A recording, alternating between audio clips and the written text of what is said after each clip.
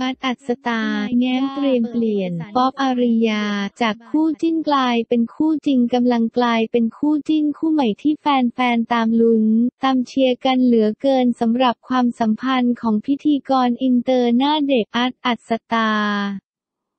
กับนางสาวไทยในตำนาน ป๊อปอารียา ที่ช่วงหลังมานี้ขยันลงรูปหวานหวานคู่กันบ่อยๆในอินสตาแกรมส่วนตัวตลอดตลอด จนหลายคนเริ่มสงสัยกันยกใหญ่ว่าทั้งคู่แอบซุ่มเงียบคบกันเป็นฟอร์ แฟนอยู่หรือเปล่า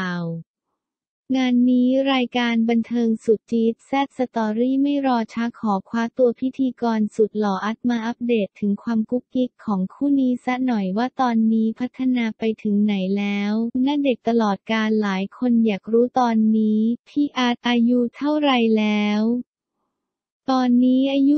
47 ที่ดูเด็กตลอดน่าจะเป็นเพราะเรื่องความอารมณ์ดีและขอบคุณพ่อแม่ น่าจะเป็นเพราะเรื่องกรรมพันธุ์ด้วย เพราะว่าพ่อกับแม่เขาก็ดูอ่อนกว่าวัยของเราเลย อย่างคุณพ่อ 82 ถ้าใครเจอพ่อ เขาก็น่าจะคิดว่าสักเจ็สิบและก็อาจจะมาจากการดูแลตัวเองเยอะๆ ดื่มน้ำเปล่าหลายคนอาจจะคิดว่าเราเป็นลูกครึ่งจริงๆ แล้วไม่มีเชื้อเลยพี่เป็นไทยจีนอาจจะมาด้วยในเรื่องของสีตาที่เราเป็นคนสีตาอ่อนด้วย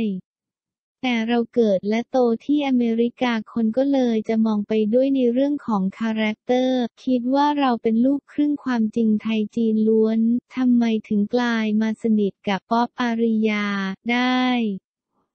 ที่สนิทกับพี่ป๊อปเพราะอยู่หมู่บ้านเดียวกัน และด้วยความพื้นฐานโตเมืองนอกเหมือนกัน เราอยู่เมืองไทยมากขึ้นพี่ป๊อปเขาก็ย้ายจากเหนือจากเชียงใหม่มาอยู่กรุงเทพมหานครก็เลยเจอกันบ่อยขึ้นจนสนิทกันมาก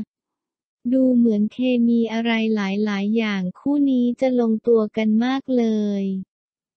น่าจะทั้งหมดน่าจะเกี่ยวกับเคมีทั้งความคิดแบบทั้งฝรั่งและทั้งแบบไทยและเป็นเพื่อนในวงการบันเทิง และในช่วงโควิดก็น่าจะเป็นส่วนทำให้เจอกันมากขึ้น เพราะเราต้องอยู่บ้านและบ้านเราอยู่ใกล้กันเลยยิ่งสนิทกันความสัมพันธ์แบบนี้เรียกว่าเป็นคู่จิ้นได้ไหม ก็ได้ หัวเราะแต่จะเป็นคู่จริงได้ไหมต้องรอดูต่อไปเห็นว่ามีทำกิจกรรมเหมือนกันไลฟ์สไตล์เหมือนกันสุดๆ